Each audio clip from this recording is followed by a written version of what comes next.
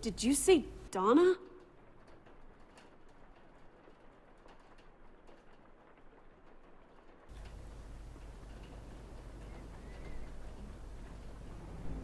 You okay? Ja, das kommt vor, dass sie das manchmal macht. I do that sometimes. Hey, I get that. These days we're all a bit off. John, he he went to talk to the kids, make sure they're all right. While I watched over you.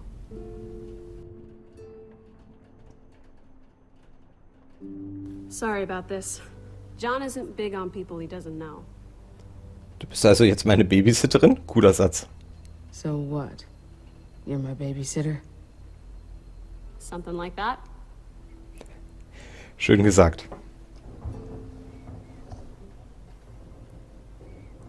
Ich weiß gar nicht, wie sie So- heißt. Yeah. This is where I apologize for almost shooting you.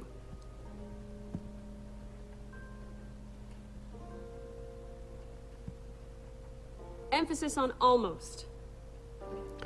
Es war ja das. Richtige. Man muss ja vorsichtig sein. Deswegen nichts für ungut. Don't worry about it. Happens more often than I like to admit.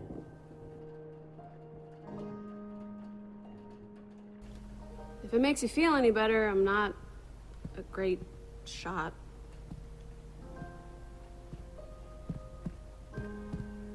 That patch of dirt, his mom's buried there.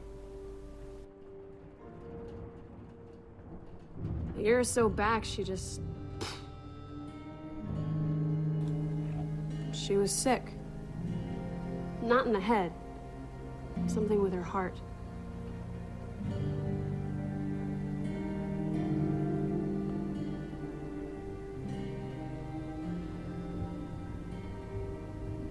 She couldn't handle it, I guess. I never understood that. Ich geb's mal zu. Damit fing das Ganze ja an, das ganze Spiel. I tried the same thing. But I couldn't do it. I've Genau. thought about it. How could you not? But like I said, bad shot.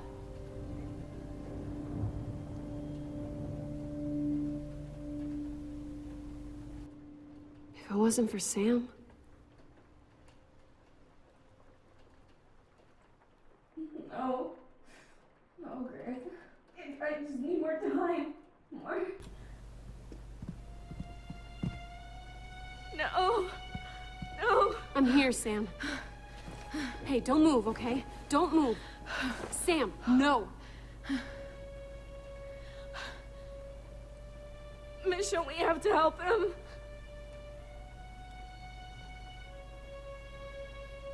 Äh, fantasiert sie gerade? Greg ist tot. Du halluzinierst. You're hallucinating, Sam. I. Greg isn't here, okay? Sam.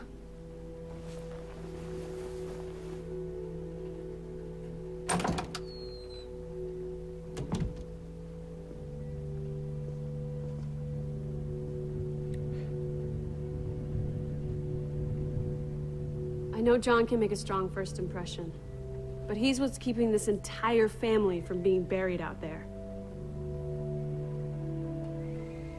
You gotta fight like hell for what you care about, right? Something that makes all this shit worth it. You try to protect everyone, you end up protecting no one. Better than not trying at all.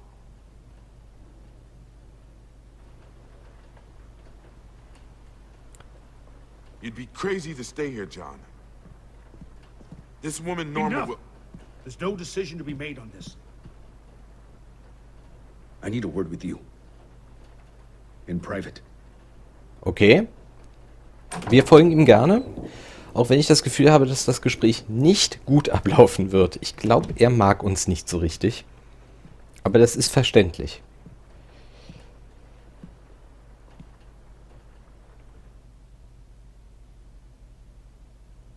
So, jetzt bin ich gespannt, was er uns zu sagen hat. Aber ich vermute mal, er wird sagen, dass wir die ganze Farm hier schnell verlassen sollen.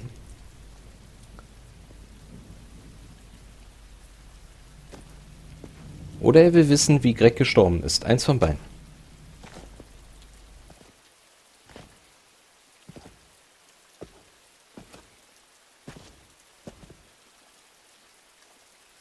Do you have children? Son? Ja, zwei Töchter. Und ich weiß nicht, wo sie Madonna. sind. I do. Two little girls.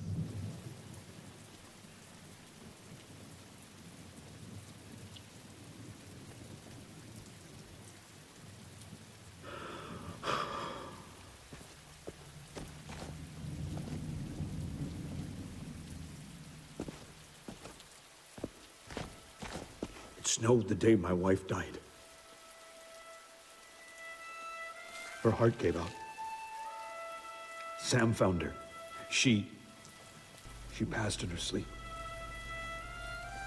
We buried her so the boys wouldn't have to see her like that. The snow. It covered her grave. We erased it. Like she'd never been there at all. Es tut mir leid. I'm really sorry for your loss. Thank you. I've tried to focus on our kids. But the past, it always seems to find you. Ever since Sophia, I've tried to keep our family from harm. But we're falling apart, piece by piece. And now that Sam's hurt, and Greg's. I could really use your help. Your friend Pete told me all about Norma about what happened. If she finds us, we wouldn't stand a chance. But you seem like someone who can hold their own. Wir helfen. Wir helfen We natürlich. got a good thing going here. Safe house, nice family. It's more rare than you know. I'll see what I can do. Thank you.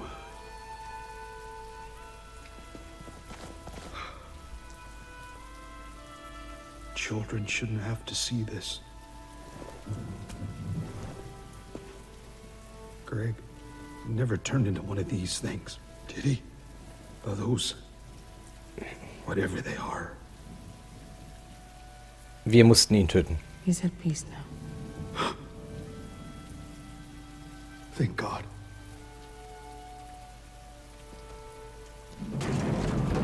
Die Wahrheit tut vielleicht weh, aber sie musste sein an dieser Stelle. Es war das einzig Richtige.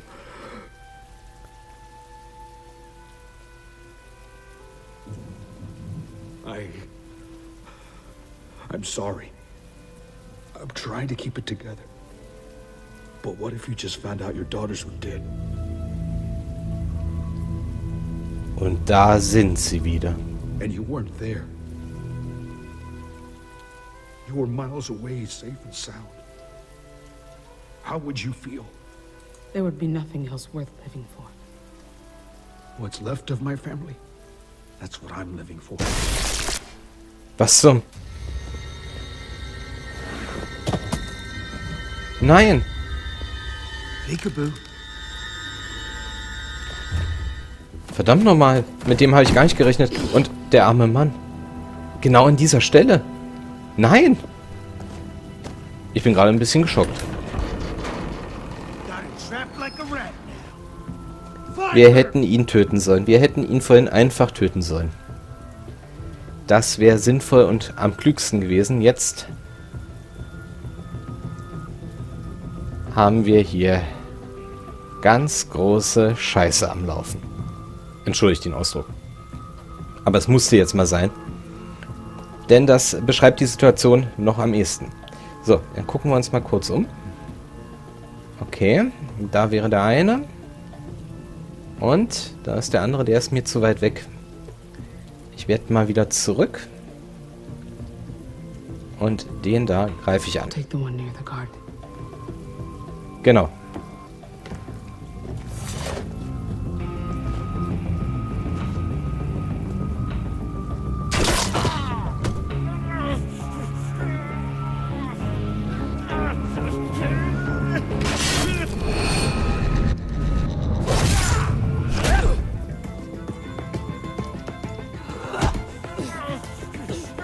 So, den werden wir umbringen. Steht fest. Wow.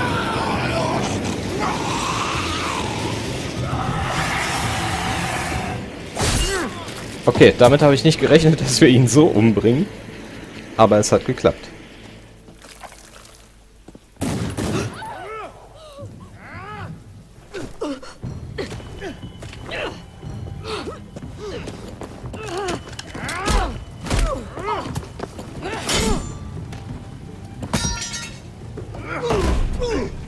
Langsam reicht's mir aber mit dem. Ganz ehrlich, ich bring den um. Wenn es die Möglichkeit gibt, wird der einfach umgebracht.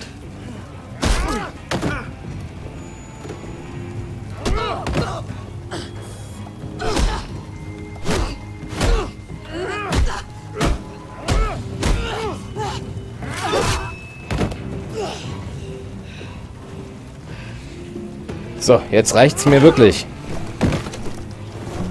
Komm schon. Freuen wir uns.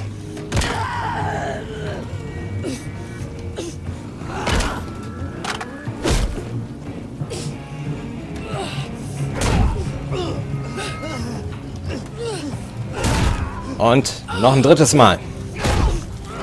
Und viertes.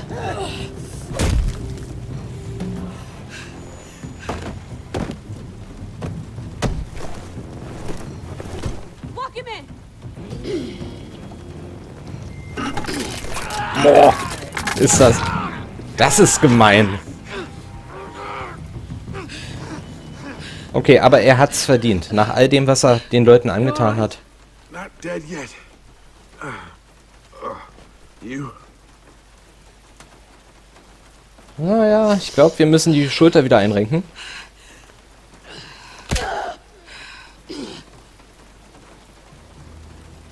Und auch das ist schmerzhaft gewesen.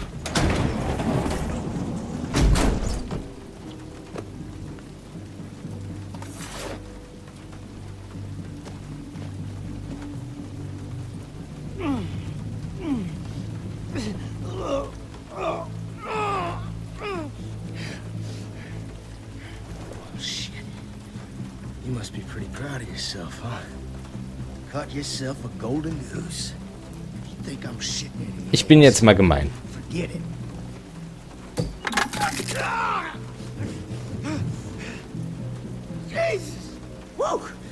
You don't mess around.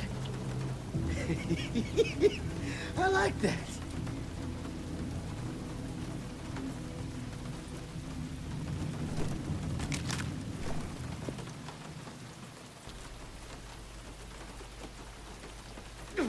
Ihr wisst, normalerweise bin ich ja nett, aber...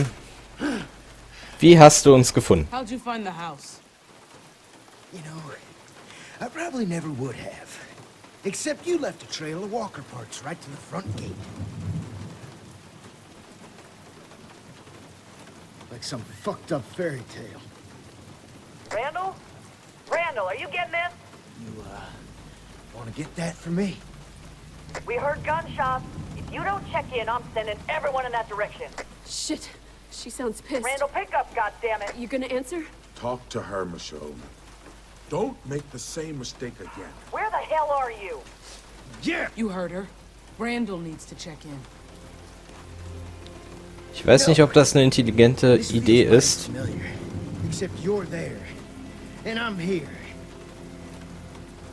So, Miss Schoen, what do you want me to say to her? On account of me hoping to avoid more broken fingers, your wish is my command. Call off your sister, or I break every bone in your hand. I'll play nice. Das glaube ich ihm nicht. Hey, Norma. Hey! I wasn't finished yet. I was doing what you said, Miss Schoen. Okay, also wir müssen wirklich das Funkgerät festhalten.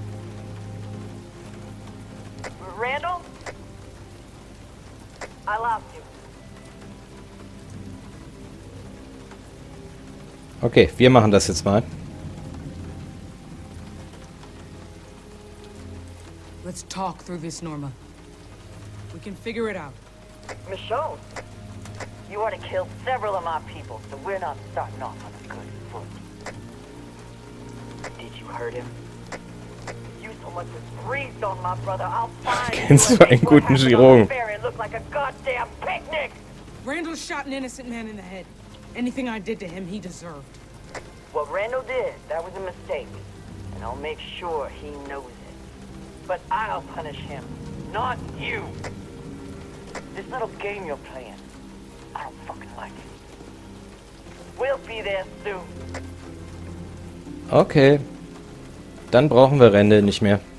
This alone time, you and me together, it's been real nice. But that all ends when my sister gets here. I'm gonna take that wrench and break your skull. Then Sam's and yours. Hm, unwahrscheinlich. And last but not least, those kitties too. I saw their little heads in the window.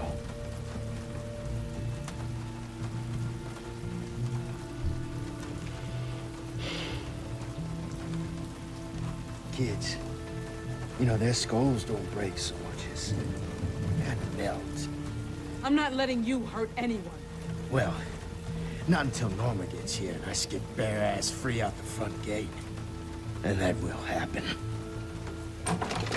Ja, aber Norma wird ihn nicht mehr lebend finden, wenn es nach mir geht. Don't you two look like your daddy? Back when he still had a face. What? Yeah. Got a big hole there now. Michonne? Is that true? Ich fürchte ja, er hat ihn wirklich getötet. Randall murdered your dad, Sam. No.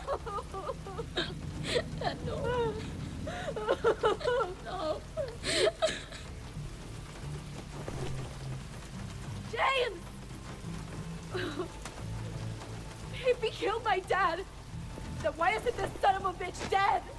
First good question asked all night. Jones just been fumbling around like a bear cub fucking a football. He keeps opening his mouth. He'll be dead soon. We should do it right fucking now! All she wants is her brother back. That's it. We're out of the equation. Wir sind nicht egal. Ja. Egal was wir tun, die kommt hier wie so rein und will alle umbringen. Genau. Ich habe mich schon entschieden und ich mag diesen Typen einfach nicht. Also da haben sie auch einen Charakter erschaffen, muss ich mal sagen. Well, maybe that's you. Because when this dance is over, Kill me, and Norma hunts you down until you're all dead. Fucked! Let me live, and I do even worse. Fucked. But we both know how this is gonna end, Michonne. You like killing. And you'd like killing me, wouldn't you? Just tell old Randall the truth. I got thick skin. You won't hurt my feelings. You're right about that. Feels good to get that out in the open, don't it? Or maybe, maybe you think you can rise above all that. But there ain't no heaven up there, honey. And there ain't no hell down below. There's only this shit every day until you die. Then you know what's the fucking kicker? You get up and keep walking. Komm doch endlich mal zur Sache. If you got a point, get to it already. On my way, darling.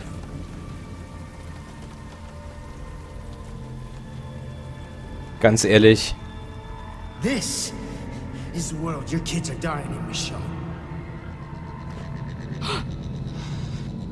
Okay, das ist überraschend, dass sie sich jetzt gerade selbst Or sieht. died in. Or are in that fucking purgatory. Shut up. Don't talk about them. Either way, they're suffering. And mommy isn't there. Okay. Jetzt darf ich endlich, hoffe ich. We all have our demons, honey. Some are on the inside. Wie gesagt, normalerweise spiele ich ja nett und lieb und lasse immer alle leben, aber dieser Charakter hier, der, nein, der kommt wieder, der würde uns nur Probleme machen, deswegen ein Problem weniger und los.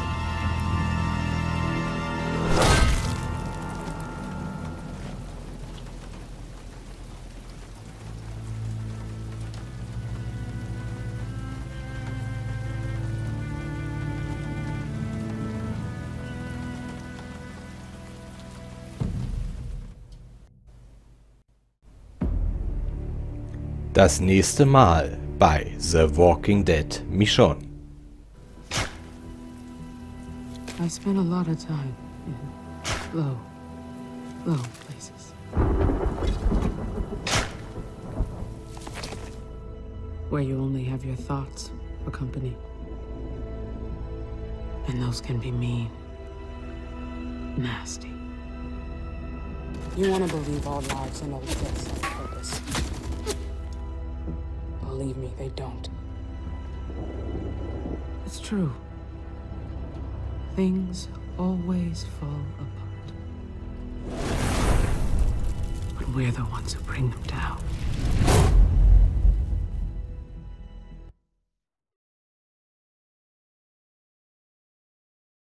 Die dritte werde ich dann auch spielen, sobald sie verfügbar ist. Das habe ich ja schon in der ersten Episode angekündigt.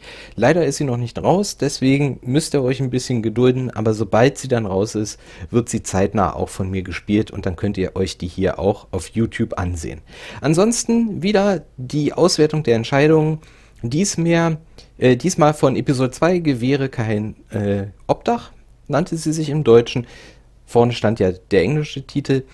Ähm, wie ihr seht, habe ich mich wieder nicht ganz an dem gehalten, was die äh, Community sonst gemacht hat. Also, hast du Pete bei dir behalten oder ihn allein losziehen lassen? 82,5% haben äh, sich genauso entschieden wie ich und haben Pete bei sich behalten. Bist du ans Telefon gegangen oder den Schritt im Flur, den Schritten im Flur gefolgt? 74,6% der Spieler sind ans Telefon gegangen. Und hast du Page erzählt, dass du fast Selbstmord begangen hast? Das haben 35% der Spieler nur getan, der Rest hat's äh, verschwiegen. Ich fand aber, dass das an der Stelle doch passend war. Ja, und ansonsten, wie hast du auf den Funkruf von Norma reagiert? 57,4% haben äh, Rende sprechen lassen. Ich gebe zu, da habe ich aus Versehen äh, zu früh die Maustaste losgelassen so dass das Gespräch abgebrochen war. Ich hätte gerne gewusst, was er ihr erzählt hat, aber na gut, was soll's. Und die letzte Frage, was hast du mit Rende getan? Da war sich die Community unschlüssig, nämlich 53,1% haben ihn umgebracht, die anderen haben ihn leben lassen. Also ziemlich Hälfte, Hälfte mit der Entscheidung, was macht man mit ihm. Aber ich muss sagen, ich konnte nicht anders, ich musste ihn einfach umbringen, denn es ist klar, so oder so gibt es Probleme. Norma wird uns immer, egal was passiert, die Hölle heiß machen. Wenn Randall noch lebt, dann wird es eventuell noch schlimmer. So ist es zwar auch eine Katastrophe für sie, aber andersherum. Wir werden sehen, wie es in Episode 3 weitergeht. Ja, ich muss sagen, mir macht dieses Spiel immer noch wahnsinnig viel Spaß. Ich hoffe, ihr hattet genauso viel Spaß. Ich werde dann Teil 3 spielen, wie gesagt, wenn es rausgekommen ist. Ich hoffe, wir sehen uns dann wieder und bis dahin macht's gut. Tschüss.